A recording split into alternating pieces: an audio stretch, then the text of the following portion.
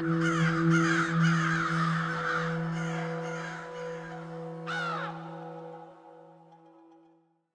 from what we've seen, Jason, I don't think the distance will be an issue. Have a look at the trajectory on the kick.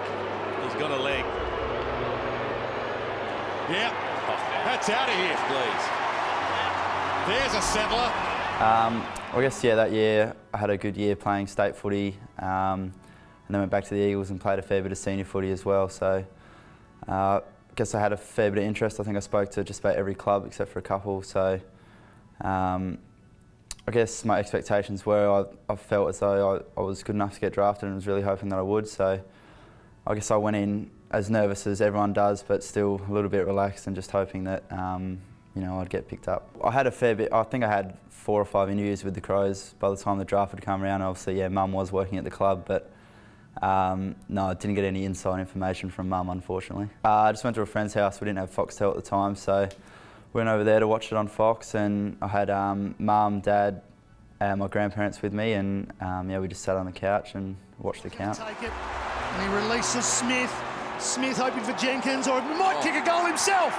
Opening goal to the Crows, and that'll get the crowd involved. Yeah, I did university in my year between school and the draft, so um, I just had a fair bit of spare time during the week, I wasn't working. I was just uh, concentrating on footy and doing a little bit of uni, so um, it was good for me to, you know, really concentrate on footy that year going into the draft. I remember that that year, I think that month, every day I checked the Phantom drafts and where um, all the media was put, trying to put players. So, um, yeah, just it finally came around and um, a few sleepless nights the night before, leading up to the draft. But yeah, once I got there, I was just really excited. Uh, well, like I said, I'd spoken to the Crows a lot. I'd spoken to the Power a lot, and they were 14, 16. Um, it was a Gold Coast dominated draft and I hadn't got a lot of interest from them and I didn't get invited so I knew I wasn't in that sort of bracket so I think I got really nervous. I think it was 12 Melbourne had a pick um, and then 13 was Gold Coast and then 14 the Crows and bang I was gone so um, it was a pretty good moment yeah. You're not going to get room like this very often. Gives the handball off and letting it rip is Smith with an absolute missile. What a kick!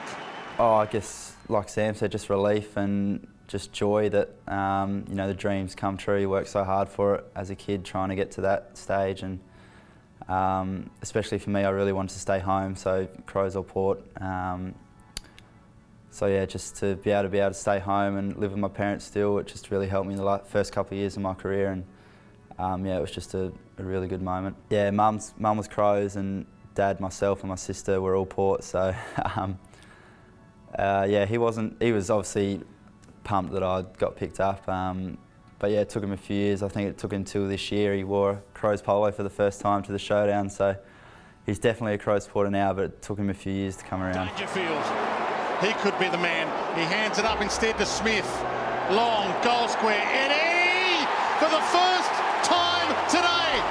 The Adelaide Crows lead. Yeah, I went to school with Pup Petrenko, so um, I think he was the only one I knew, but um, so he really looked after me the first couple of years and um, we formed a good friendship and unfortunately he's not here now, but um, hopefully his career will be extended somewhere else. But yeah, he really looked after me the first couple of years. Yeah, I remember Steve Sanders, the player manager at the time, called me pretty quick and yeah, Dogger gave me a call and uh, VB as well, I reckon. So that was um, a little bit daunting, hit me straight away and my phone was going pretty nuts at the time, a lot of messages from mates and family. So, um, but yeah, it was good to you know speak to a couple of leaders before I got here. It made me feel a bit more comfortable. How did I celebrate?